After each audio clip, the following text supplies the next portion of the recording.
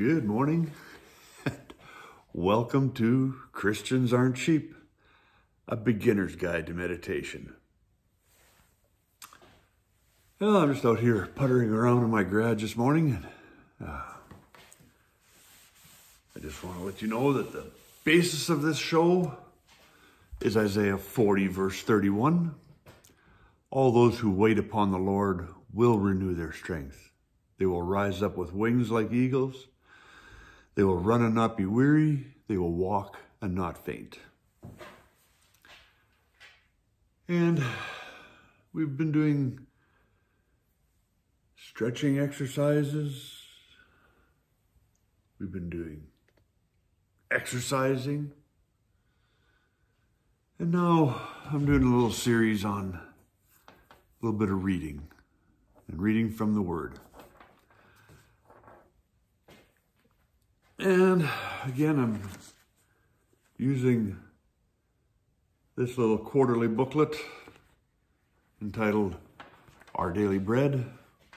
And today's reading is entitled Who You Are. In 2011, after a decade of childlessness, my wife and I chose to start afresh in a new country. Exciting as the move was, it required me leaving a broadcast career, which I missed. Feeling lost, I asked my friend Liam for advice. I don't know what my calling is anymore, I told Liam dejectedly. You're not broadcasting here, he asked. I said I wasn't. Eh, and how's your marriage?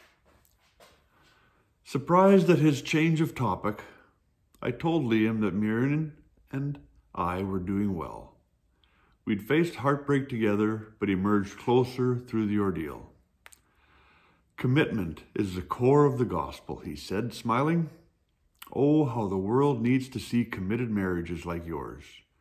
You may not realize the impact you're having already beyond what you do simply by being who you are.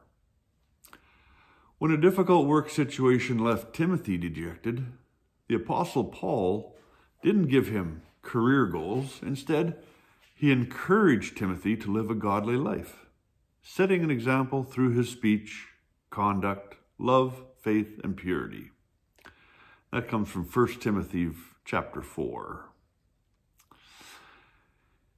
He would best impact others by living faithfully. It's easy to value our lives based on our career success when what matters most is our character. I had forgotten that. But a word of truth, a gracious act, even a committed marriage can bring great change because through them, something of God's own goodness touches the world. And the thought for today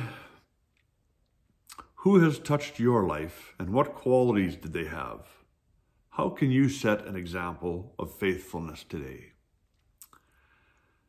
And this morning's prayer Dear God, help me to remember that the work I do isn't as important as the person I become. Please make me more like you. Amen. Amen. See you tomorrow.